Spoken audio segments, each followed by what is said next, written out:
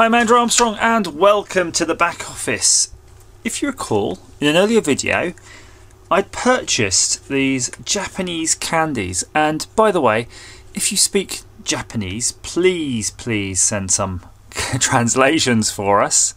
Um, hopefully you can see that writing quite clearly there. And there's another little bit of writing and graphics on this box. Coris Whistle Candy. And it's fascinating because it's like, can you whistle? Shows music coming out the centre there. And uh, I want to give it a go really. I want to give it a go because it's just so weird looking. And I don't know what's in this box. It's just, ooh, it's, it's so, so Japanese. Um, 2018 five. It's, it's interesting. Is this like the best before? I mean, do sweets have a best before? Ah, so I'm just smelling the corner. Smells like some sort of plum. Oh, the paper's really nice texture. It's like vinyl. Ah, okay, yeah. Maybe I shouldn't be just tearing this. Maybe I need to sort of, you know, can it seal back up? No. Should be a bit more careful, really, shouldn't I, with these?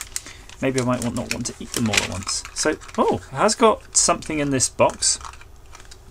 And there is indeed additional writing on this box for those of you who speak the lingo. But it does look like a uh, mouse and a duck in a biplane. So maybe that duck was a bit slow and he wanted to go a bit faster. Faster than duck speed. Oh, it's a toy! It's your little gift. And it looks like a, a, a Triceratops. Look at that back leg. Looks like he's, uh, you know, he's sort of done a mischief. You, you know, sometimes you're walking along and you uh, take a misstep on your ankle and your ankle goes, that's what's happened. He's just going, nom, nom, nom. Ah! And that's that's what he's ended up with. He's sprained it a bit, but that's quite nice. I wonder though, can you? Uh, ooh, maybe that box is good though for taking a couple of little whistle candies in your pocket on your way to school. That's probably this dual purpose. And wow, I'm getting this overwhelming almost scent of um, what did I say before? Plum, I think. Plum, yeah, definitely plummy. I mean, it's it's not a, it's not a smell you know we really get that much because we don't eat that many plums, do we? Oh, and the uh, vernier scale of um, batteries always being deaded. It's so annoying. I, I don't know why these don't have a proper off switch on them. They're always bloody dead every time I take them out of the box. So let's have a look. We'll take out one of these sucky candies.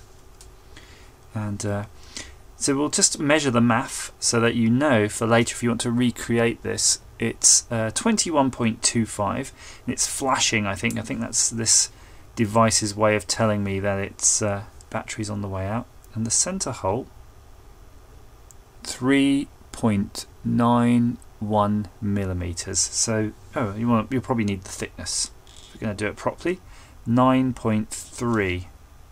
Yeah, still zeroed, 9.3. So now you can uh, 3D print yourself some of these. It does look to have a seam down the middle there, so I wonder if they are actually constructed in, in two halves and then uh, somehow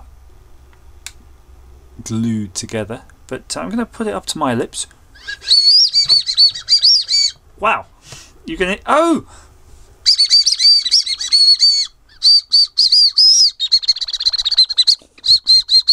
That's cool. I've worked out how it works. I'm going to just uh, hold them in my mouth for a minute. How hilarious.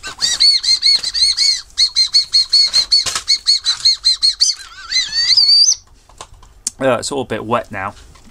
But that's why it's in two halves. Fat.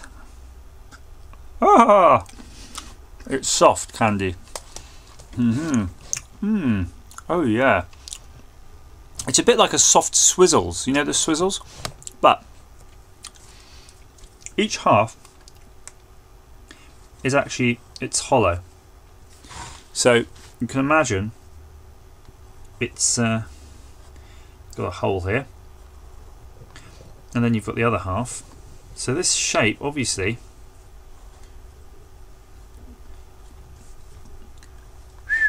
you're blowing in here and it's doing something or another resonating and then puffing out something like that um, like a flute Doesn't make the sound on one half. You need the two together. Mmm. Now, in terms of flavour, and of course, remember, friction, the power of friction pens. Make them a razor. TM. Um, the flavour is sweet, but it's gorgeous actually. It's really, it's quite nice. It's not overpowering like some of those Swizzels, which are really super strong. And you get plenty, to be honest with you. Eight. Hmm. I kind of just wish I took more care of this packaging because I'm probably now more likely just to sort of race through and eat them. But I do hope my kids don't find them because it's not the sort of thing that um, they'll appreciate like I do.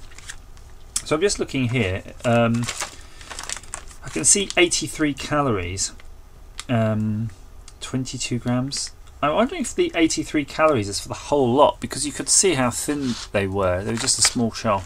Well, there you go. That's rather nice. A nice little treat to find. I've uh, enjoyed that. Please uh, comment down below if you've had these or you know anything about them. I do know at least one of my viewers is in Japan. Should be able to tell us about this. But yes, of course. Please like, share, subscribe, and uh, thank you for watching.